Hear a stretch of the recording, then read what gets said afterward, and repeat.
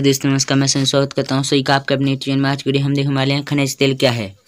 पृथ्वी के गर्भ से निकाला जाने वाला तेल, खनिज तेल कहलाता है, इसे पेट्रोलियम कहते हैं। आशा करता हूँ दोस्तों, आपको वीडियो पसंद वीडियो पसंद, वीडियो को लाइक करें, दोस्तों चैनल पर नया चैनल सबसे